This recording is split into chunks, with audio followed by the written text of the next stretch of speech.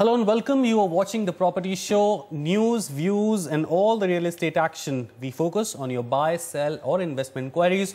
All this and much, much more on the show. Thank you very much for tuning in. And let's take you straight to the ground with 60 minutes of Power Pack real estate action with our expert Gaurav Pandey, Senior VP and Head of Research at Prop Equity. Gaurav, thank you so much for joining us as always. Pleasure having you with us. Uh, so don't wait any further. Pick up the phone, call us if you have a property query.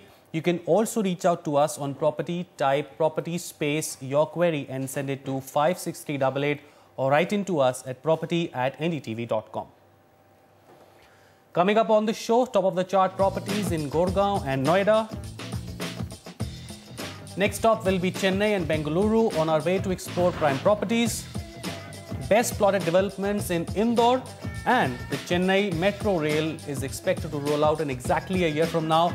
How will this new age mass rapid transit system impact the city's real estate landscape? A special report. All right, uh, coming up, we'll focus on the markets predominantly in Mumbai, Gurgaon, and Noida. And let's bring in our first caller of the show. We have with us Girish Bhatia, who is joining us on the phone line. Girish, hi, welcome to the Property Show. Please go ahead, ask your question. Hi, this is Girish. Uh, basically, I am looking for a second home in Mumbai where my budget is around 80 lakhs. Uh, I have mentioned the preferred area, which is uh, the suburb side, western suburbs. Uh, that's where I'm looking at. Uh, I already have pre-approved loans from most of the banks. So I just wanted a suggestion to look for maybe under construction as well. Uh, some project that I can put in which can be ready within a period of say 15 months and mm-hmm. can be used as an end use later on or slash investment. Girish, have you done some background research about this property market? Have you identified any projects? I have, but the issue that I am coming across is the time the time taken by these projects. Okay, I have seen a few projects, but then the, the issue is I'm not sure whether they'll be completed on time. right. Okay, fair enough. Uh, Gaurav, the investor seems to be rather little tentative and he seems to be rather cautious before going ahead with this investment. First, projects that he can actually look at, and is this a real concern, the time lag? I think first let me acknowledge that you know he's, he's, he's very in the right frame of framework of approach you know i think that's what usually investors should you know do that is they should qualify the investments by seeing what's happening on the ground uh, need not rush into just making a decision which is sporadic because this is a long investment game. It's not actually a 2 to 3 year investment uh, you know kind of an approach. And given uh, you know Ashu that we've been talking generally of the economic environment and you know the general policy environment it makes sense that you have a five year holding period. And i think his concerns are valid given the fact that many projects have been you know delayed in india. So i, I, I acknowledge your approach. And invest in western suburbs you know you have within your budget uh, you know uh, the preferred location that you mailed it to us which is i think mulund and ghatkopar. Uh, Mulund and Ghatkopar are absolutely fine locations and you should surely get some interesting options. Now, the fact that you have an investment uh, you know, approach in your mind and you will have a secondary approach either to exit maybe later on or even do a self-occupation. I think what you should perhaps do is look at something which is under construction but from a good developer and you know which has some track record and a project which has you know all major specifications, amenities that you're looking at at the same time you know meets your budget as well.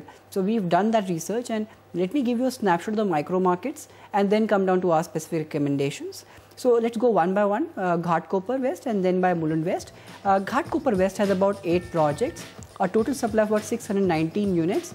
Available units will be about 17 one uh, and if you just notice the inventory overhang, which is I think is one of the most important indicators if you're an investor, it's about just 17 months. The weighted average price of this micro market is about 9,099 per square feet and Ghatkopar is actually strategically located in the central suburbs which connects to western, central and harbour suburbs of Mumbai and Mumbai city and that makes it you know very interesting as a location uh, from an end use perspective as well as investment. The second micro market uh, that you have is Mulund West again a very similar number of projects about 9 in nature. Uh, the total supply over here is about 2142 units and available would be about 496 units. Inventory overhang again you know the you know the threshold that we have it's within that range it stands at about 21 months. If you see the weighted average price uh, per square feet this is trading at about 11,270 per square feet and the reason why this has a tad higher price at the moment than Ghatkopar is the price appreciation which has happened in the last two and a half years.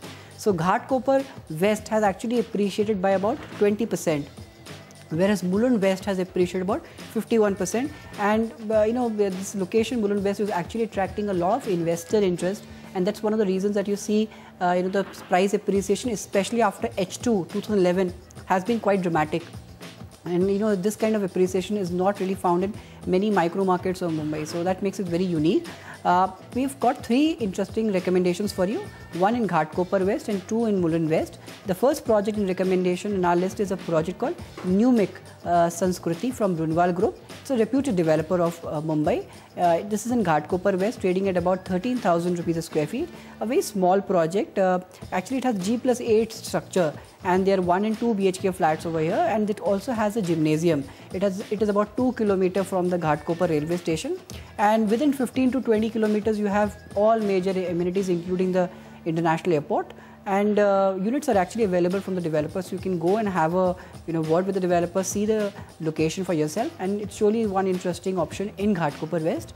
Coming down to Mulund West uh, the first recommendation in West that we have is a project called Roopji Signature from Roopji Construction.